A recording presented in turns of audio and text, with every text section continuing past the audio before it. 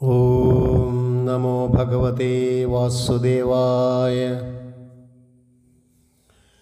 കമലനയനൻ ശിശുപാലനെ കൊന്നതു കേട്ടു സഹിയായി കയാലധസാൽവനും നൃപസദസ്സി കോപമോടു യതുകുലമൊടുക്കുവാൻ നന്നായി പ്രതിജ്ഞയും ചെയ്തു ഗമിച്ചവൻ വിമല തരഗഹനമതിൽ വിരവിനൊടു ചെന്നുടൻ ഗംഗാധരനെ തപസ്സു തുടങ്ങിനാൻ ഭുവനപതി ചരണമതു ഹൃതി കരുതി നിത്യവും ഭൂമി പരാഗൈക മുഷ്ടി ഭുജിച്ചവൻ.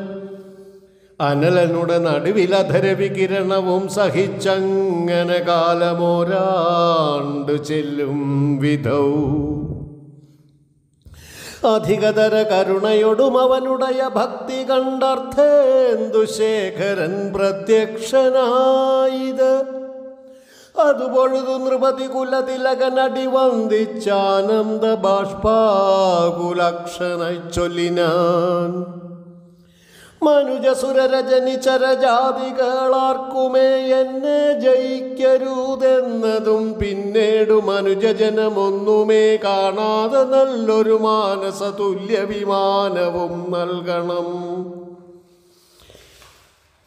ഇതമവനും അഖിലപതി ശങ്കരൻ തന്നോടു കാംക്ഷയാ ചോദിച്ച നേരം നൃപനോടു തവഹിതമതൊക്കെയും വന്നുകൂടും എന്നു ചൊല്ലി മറഞ്ഞിതു ശങ്കരനം നേരം ശിവനുടയ വാക്കിനാൽ മയനുമധസാൽവനു ശോഭനമായ വിമാനവും നൽകിനാൻ.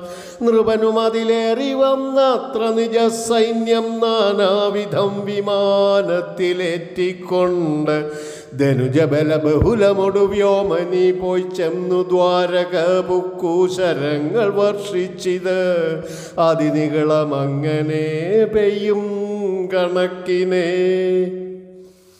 അത്ര കണ്ടാശു യദുവരന്മാരുമായി മുസലധരനമിത ബലപ്രദ്യുമ്ന സംയുതം ബഹുപരുഷ കോപമോടാകാശലക്ഷ്യമായി തെരുതെരയച്ചിതു ബാണശസ്ത്രാദികൾ. തത്ര കരശിരപാദങ്ങളറ്റഥ ഭുവി പതിതരായി സാൽവ സൈന്യങ്ങളും ഭൂപതി സാൽവനതു കണ്ടു കോപേന പരിചോടു വിമാനവും ഭൂമിയിൽ താഴ്ത്തിനാൻ.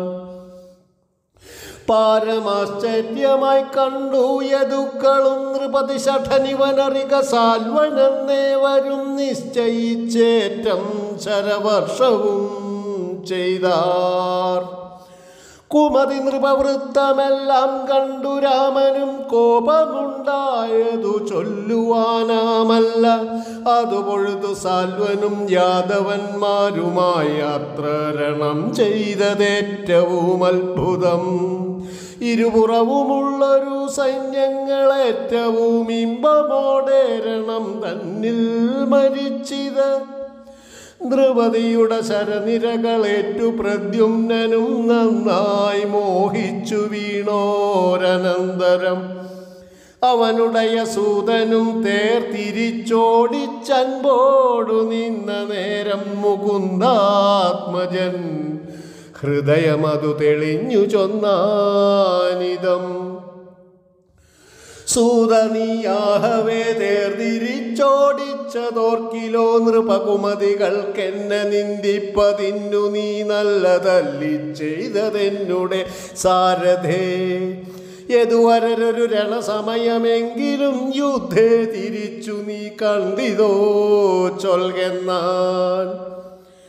അനയമിത തിന്നിനി വൈകാതെ ഇന്നിഹ അൻപോടു മദ്രഥം കൂട്ടൂരി പൂമധ്യേ. കമലദലലോചന നന്ദനൻ പ്രദ്യുമ്ന കഥിതമിവ കേട്ടു തൽസൂതനതു നേരെ മരികുലവധത്തിനായി രഥമരികൾ തന്നേരെ അമ്പിനോടോടിച്ച നേരത്തു പ്രദ്യുമ്നൻ ശരവരിഷ ബഹുലമതു ചെയ്തു ചെയ്തങ്ങനെ ശോഷിച്ചു സാൽവ സൈന്യങ്ങളതു നേരം.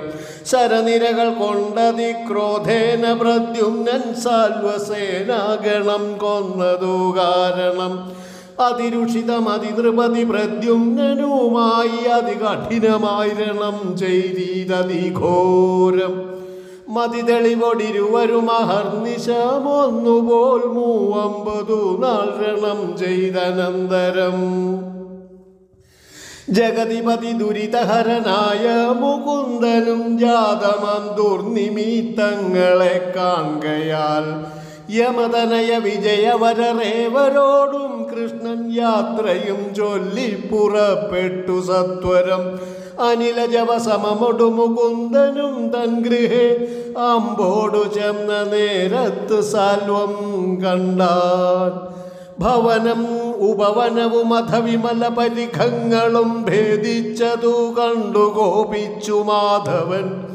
അതിജവമൊടവന ഇനിരണമതിൽ വധിപ്പനം നൻപോടു സാൽവനോടെത്തിനൻ കൃഷ്ണനും. സപതി നൃപവരനും ഒരു വിപുലഗതയാ കൃഷ്ണ സാരഥി തന്നെ നേരെ എറിഞ്ഞിത്.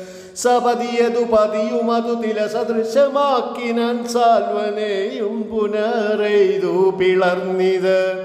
വിഗത ഭയമധ നൃപനുമൊരു ശരമെടുത്തുടൻ വാമകരെ കൃഷ്ണന്റെ തടനു ഹരി കരകല്ലിത കനകമയ സാർങ്ങവും താഴത്തു വീണിതു ചിത്രമത്രേതുലോം. സകല ജനമതു പൊഴുതു ഭയവിവശ ചിത്തരായി സാൽവനുമാപ്പോൾ ചിരിച്ചു ചൊല്ലിടിനാൻ.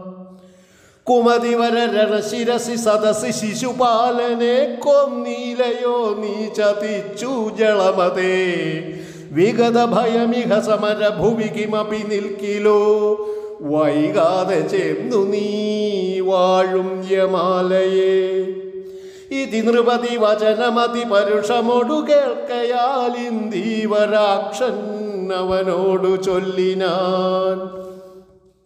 അരികളോടു പടപൊരുതു മളവിലതി നിന്ദ്യമാത്മ പ്രശംസയാ കിംഫലം ദുർമതേ. സമരമതു വിഗത ഭയമഴകിനോടു ചെയ്യുക നീ. സംസാരമാർഗേണ യുദ്ധേ ജയം വരാ.